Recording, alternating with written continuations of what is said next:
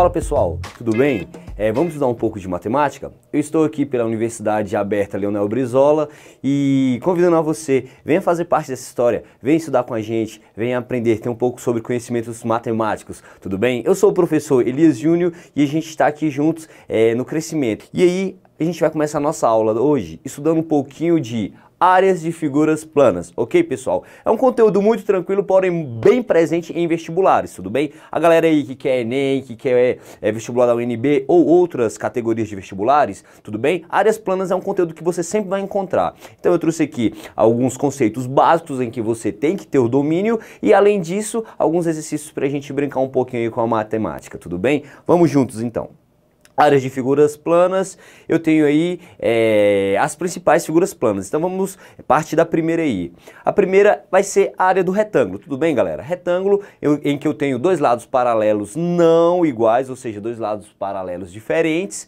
tudo bem? E a representação dele eu tenho aqui por base vezes altura, tudo bem? Olha ali na imagem ok? Eu tenho então um retângulo ali, é, vocês podem ver que aqui eu tenho dois lados paralelos diferentes, ok? Em um que eu chamo de base e o outro que eu chamo de altura, ok pessoal? Então, eu posso pegar esse retângulo e partilhar ele, ou seja, cortar ele em partes, em quadrados menores com um uma unidade, tudo bem? O que, que eu fiz? Eu tinha um retângulo e parti ele, dividi em quadrados de lados iguais a 1, tudo bem? E aí, como é que eu faço? Como é que eu faria para calcular essa área? Somaria todos esses quadrados de unidade de 1? Sim. Ou você poderia, então, utilizar a regra do seguinte. A área desse retângulo todo eu vou ter obtendo base vezes altura. Tudo bem, galera? Base porque é a parte de baixo que eu tenho, a base do meu retângulo. Altura, altura dele. A que ponto ele chega, tudo bem? Se eu fosse aqui contar pelas unidades que eu falei para vocês, eu vou ter uma, duas, três, quatro unidades de altura e uma, duas, três, quatro, cinco, seis, sete, oito, nove é, unidades de base, tudo bem? Para eu calcular essa base toda, eu multiplicaria 9 vezes 4. Tudo bem, galera? Tamo juntos, vamos para a próxima. Sem dúvidas? Segurem aí então.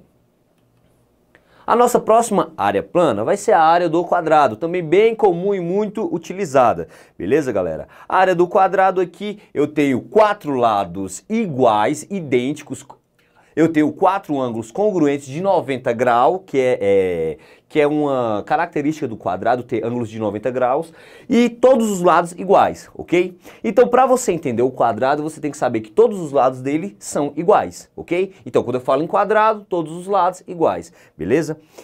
A área do quadrado, então, vai ser, se você usar a teoria do retângulo, que é base vezes altura, você vai chegar também na área do quadrado. Porém, olhem aqui, a base do quadrado no L, a altura também é L, ou seja, a área do meu quadrado vai ser L ao quadrado, tudo bem? Lado vezes lado, lado ao quadrado. Por que lado ao quadrado? Porque todos os lados do meu quadrado medem o mesmo tamanho, tudo bem? Então, retângulo, dois lados iguais, dois lados diferentes. Quadrados, quatro lados são iguais, beleza? Partindo disso aí, a gente tem é, a área do paralelogramo. A área do paralelogramo conforme a figura. Olha ali, galera, essa figura que interessante, tudo bem? Isso aqui, galera, ele é um paralelogramo, ele não passa de um retângulo, porém existe uma parte que está deslocada, ok? Eles seccionaram esse retângulo e colocaram em outra parte, tudo bem? Olha lá. Se eu pegar essa partezinha aqui e deslocar ela para cá, olha que engraçado. Eu passo a ter que figura? Poxa, um retângulo, tudo bem? Ou seja, a área do paralelogramo ela se confunde, ou seja, ela era igual à área do retângulo. Você lembra qual é a área do retângulo? Base vezes altura. Ok, galera? Então, olha lá. Beleza? Com isso eu já tenho a área do paralelogramo. A gente estudou do retângulo, quadrado e agora do paralelogramo. Partindo disso aí agora, a gente entra na área do trapézio. Ok, galera? Vamos lá. Eu tenho um desenhozinho aqui do meu trapézio tudo bem? O que, que aconteceu aqui? Eu tracei uma diagonal, ok? Eu tracei uma diagonal de N até Q, tudo bem? De N até Q, então, eu vou dividir em dois triângulos, tudo bem? Basta você notar que eu tenho o triângulo MNQ e eu tenho outro triângulo PNQ, tudo bem? De novo, os dois triângulos MNQ e PNQ. Aí eu te pergunto, qual a altura desses dois triângulos? Olha aqui, H vai ser a altura tanto do primeiro triângulo como do segundo, do triângulo PQN. Tudo bem? Então olha lá, se eu juntar a área desse triângulo com a área desse triângulo, eu vou obter a área do trapézio. Olhem ali, galera. Então, se você prestar atenção, eu tenho aqui base vezes a altura desse primeiro triângulo dividido por 2, que é a área do meu triângulo. E também vou ter aqui base, o Bzinho menor, vezes a altura dividido por 2, porque a altura é a mesma tanto para o triângulo MNQ, quanto é a mesma para o triângulo NPQ. H vai ser a altura para os dois. Olha que engraçado. Então, se eu somar a área desses dois triângulos, eu vou obter a área do trapézio. Vamos lá, soma com os denominadores iguais. Você lembra disso? Quando você tem denominadores iguais, então para você somar, basta conservar o denominador. Mas eu tenho outra coisa, outra característica aqui que é interessante. Note que você tem altura tanto no primeiro triângulo e no segundo triângulo. É a mesma altura? Sim, é a mesma altura. O que, você pode fazer com essa altura? Se eu tenho ela multiplicando em um triângulo e ela multiplicando no outro, eu vou evidenciar essa altura. Olha lá. Quando eu evidencio a altura, o que, que vai aparecer? Base maior, ok? Base maior do meu trapézio, mais base menor do meu trapézio, vezes a altura, dividido por 2, tudo bem? Então, base maior mais base menor vezes a altura dividido por 2, eu vou ter a área do meu trapézio. Tudo bem, galera? Acompanhando aí? Vamos para a próxima. A próxima é a área do losango. Tudo bem, galera? Área do losango em que você tem uma diagonal maior e uma diagonal menor, beleza? Se eu traçar ali, ó, NP se eu traçar aqui MNP e Q e duas vezes MNP, que é um triângulo, eu vou ter a seguinte característica. Olha lá. Eu vou ter um triângulo dividido por 2, tudo bem? Um triângulo maior e o um menor dividido por 2. Se eu, como eu tenho aqui multiplicado por 2 e dividido por 2, porque são dois triângulos, olha lá, eu posso cancelá-los, o que, que vai sobrar? A área do losango. Então vamos lá, resumir. A área do losango é o seguinte, você tem uma diagonal maior e uma diagonal menor, ok? Então, a diagonal, o produto, produto significa multiplicação, o produto da diagonal maior com a diagonal menor dividido por 2 vai ser a área do meu losango. O que, que seria para eu completar essas partes aqui de baixo? Tudo bem? Para ele se tornar um paralelogramo. Ok, galera? Vamos partindo disso aí e eu chego na área do triângulo, ok? É, em função das medidas da base, da altura relativa é, a essa base. Olhem lá, galera, que figura é essa? A gente já viu essa figura aqui durante os slides. Isso aqui é um paralelogramo, ok? Então, olhem aqui que eu já seccionei ele, ok? Eu cortei esse paralelogramo em duas partes iguais, tudo bem? Olhem lá que eu separei ele, ó, beleza? Se a parte de cima B é a diagonal de cima, a parte de baixo também é B. Tudo bem? Você lembra qual, é a, qual era a fórmula do paralelogramo lá no início da aula? Falei para vocês que a área do paralelogramo, base vezes altura, ok? Então, olhem lá. Galera, base vezes altura. Eu não estou dividindo em duas partes iguais? Então, a área do triângulo, base vezes altura, dividido por 2. Tranquilo? Estão acompanhando aí? E a gente chega aqui agora na área do círculo, tudo bem? A área do círculo eu vou comentar um pouco porque ele é bem interessante e cai muita coisa sobre círculo, a gente vai fazer questões sobre isso e é interessante você saber, beleza? O que, que a gente tem de importante no círculo? Galera, o círculo você tem que do centro a qualquer parte dele é chamado de raio ok? Basicamente isso. Do centro da circunferência a qualquer parte dela eu tenho uma medida que é chamada de raio. Olha aqui posso escrever aqui, ok? O raio. Se eu continuar aqui, tudo bem? Traçar o raio de uma parte a outra, eu já não vou ter mais o raio, eu vou ter o diâmetro, ok? Ou seja, o diâmetro é duas vezes o raio. Posso escrever isso aqui. Diâmetro duas vezes o raio, ok? Porque o diâmetro vai de uma ponta até a outra. Consequentemente, você pode colocar o raio em função do diâmetro.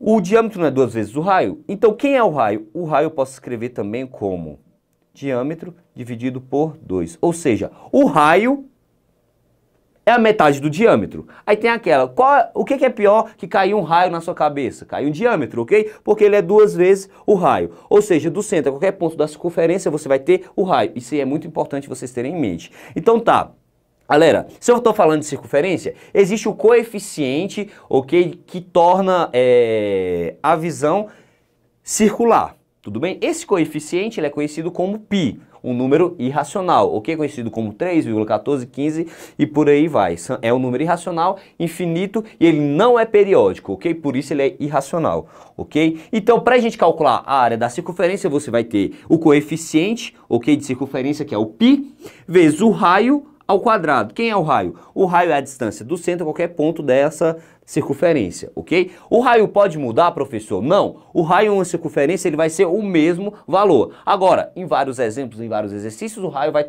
mudar a medida sim, ele vai ter medidas relativas, ok? Porém, na circunferência, o raio a área dele eu tenho como π vezes o raio ao quadrado. Eu posso escrever também aqui outra coisa interessante para vocês que é o comprimento, tudo bem? O comprimento significa o quê? Galera, a área é toda essa parte aqui interna da circunferência. Se eu quero calcular toda a área, eu quero calcular tudo isso aqui dentro. Porém, e se eu quisesse o comprimento?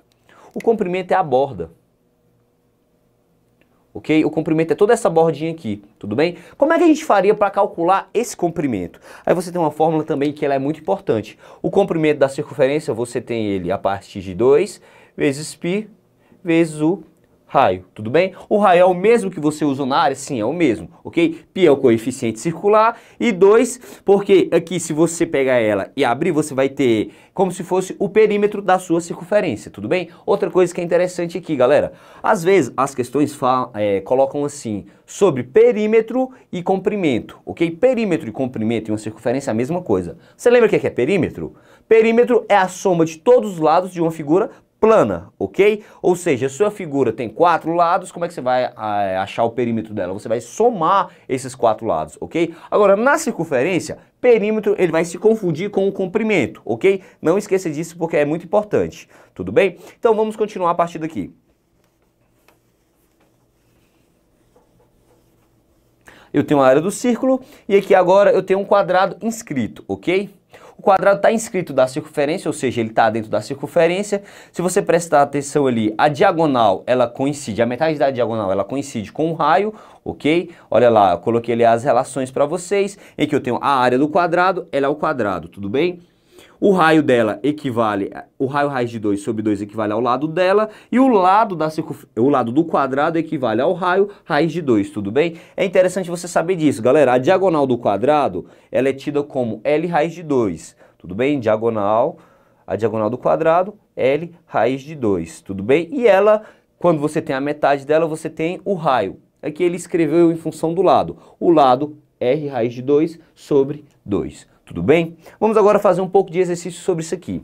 Eu vou ter aqui primeiro uma questão do Enem, muito tranquila, galera. Um senhor, pai de dois filhos, deseja comprar dois terrenos com área de mesma medida, um para cada filho. Um dos terrenos visitados é, já está demarcado e embora não tenha um formato convencional, como observa na figura B, agradou ao filho mais velho e por isso foi comprado. O filho mais novo possui um projeto arquitetônico de uma casa que quer construir, mas para isso precisa de um terreno na forma retangular, como mostra a figura A, cujo comprimento seja 7 metros maior do que a largura. Ou seja, aqui você vai ter duas figuras planas, em que aqui você tem um retângulo e aqui você tem o triângulo. Tudo bem? Um triângulo não, uma figura é, de quatro lados, ok? Galera, o que, que ele quer aqui? Cujo comprimento seja 7 7 metros maior do que a largura, beleza? Ele quer que esse aqui seja 7 metros maior que a largura.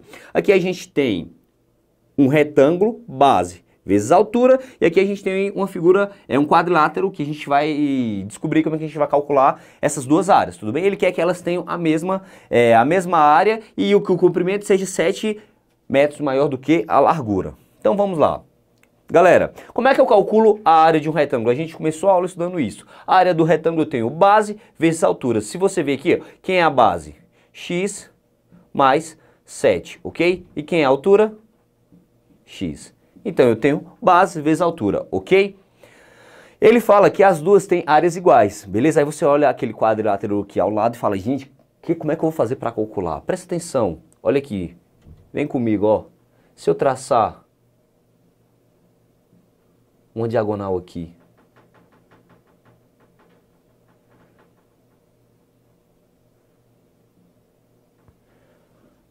Você consegue enxergar dois triângulos? Eu passo a ter dois triângulos ali na figura. Tudo bem? Então, eu quero que a área desse retângulo seja igual à área desses dois triângulos. Tudo bem? Eita, mas espera aí, como é que eu calculo a área do triângulo? A área do triângulo é base vezes a altura dividido por 2? Poxa, no primeiro eu tenho aqui 15 vezes 15, dividido por 2. E no outro, quem é a base? 21 e a altura 3. Ou seja, 21 vezes 3, tudo isso dividido por 2. Tudo bem? Então eu tenho 15 vezes 15 dividido por 2 e no outro 21 vezes 3 dividido por 2. Eu quero que essa área seja igual a x mais 7 vezes x, ok? Vamos fazer o chuveirinho aqui, ó. Eu vou ter aqui no primeiro x ao quadrado, x vezes 7, 7x, ok? Isso aqui vai ser igual. 15 vezes 15. Galera, quanto que é 15 vezes 15? Ok? Você está com dúvida? Faz isso aqui, ó. 15 vezes 15. O seguinte, pega o número todo e soma com a unidade. 15 mais 5 dá quanto? 15 mais 5 dá 20. Opa, beleza. Agora você vai multiplicar as unidades. 5 vezes 5, 25. Fica o 5 na unidade, sobra o 2, tudo bem? Soma agora, 225, ok? 15 vezes 15, 225, bem prático. Então, da primeira conta aqui eu vou ter 225 dividido por 2, mais 3 vezes 21, vai dar 63 dividido por 2. Eu te pergunto, galera, posso somar essas duas frações? Você pode. Por que, que você pode? Porque os denominadores são iguais. Então vamos lá, vai ficar x ao quadrado mais 7x vai ser igual.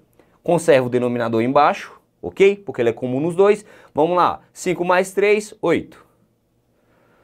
6 mais 2, 8. Ok? 288 dividido por 2. O número é par? É. Ele é divisível por 2? É. Então você divide 288 dividido por 2, 144. x ao quadrado mais 7x mais 144.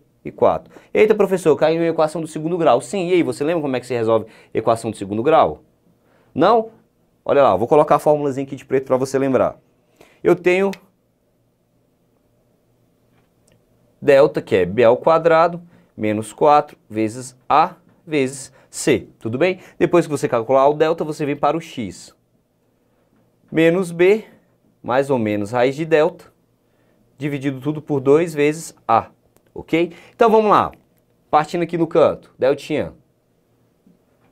Quem é o B da nossa equação? O A é o termo que multiplica x ao quadrado, o B é o termo que multiplica o x e o C é o termo independente. Então você tem o A que é 1, o B que é 7 e o C que é o 144, ok? Então como é que vai ficar isso aqui? 7 ao quadrado, B ao quadrado, menos 4 vezes A vezes C. O C é 140 144, ok? Galera, presta atenção no seguinte aqui. Quando eu dividi 288 por 2, deu 144. Eu passei pra, para o outro lado da igualdade, então o sinal que vem para cá, ele vem negativo. E essa equação passa a ser igual a zero, tudo bem? Ou seja, o termo C não é negativo, tem que considerar ele negativo aqui no canto também menos 144. Delta é igual 7 ao quadrado, 49. Menos com menos, mais. Vamos lá, galera. 4 vezes 144. 4 vezes 4, 16. Vai 1. 4 vezes 4, 16. Mais 1, 17. Vai 1. Ok? 4 vezes 1, 4. Mais 1, 5. Eu tenho 49 mais 576. Delta, então, é igual a 620 5, ok? Para terminar a conta, a gente aplica agora aqui no lugar de x. x é igual a menos b, mais ou menos, raiz de delta. Vamos lá, substituindo já. O b não é 7? Coloquei ele aqui. Menos b, menos 7. Mais ou menos, raiz quadrada de 625, dividido por 2 vezes a. Como a é 1, eu tenho aqui 2. Então, minha primeira raiz, vamos lá. Raiz quadrada de 625, se você não sabe, 5 é final de quadrado perfeito? É. Então, a raiz dele é 25, tudo bem? Raiz quadrada de 625, 25. Galera, presta atenção no seguinte, em geometria eu sempre vou utilizar a raiz positiva, ok? Então, se você notar, se eu pegar menos 7 e menos 25, o resultado vai sair positivo? Não, vai continuar negativo. E eu quero um resultado positivo, ok? Então o que, vai acontecer aqui? Eu vou pegar o sinal negativo e o sinal positivo. Menos 7, ok? Mais 25, opa, tudo isso dividido por 2. Menos 7 mais 25 aí, galera, eu vou ter 18. 18 dividido por 2, eu vou ter quanto? 9. É a nossa raiz positiva, é o nosso resultado que ele quer. Se eu voltar aqui no outro lado, ele fala que ele quer que um lado seja 9, tudo bem? O outro lado é 9 mais 7. Tudo bem? 9 mais 7, então eu vou ter que esse, que a base toda aqui vai medir 16, tudo bem? Se a gente voltar aqui na questão,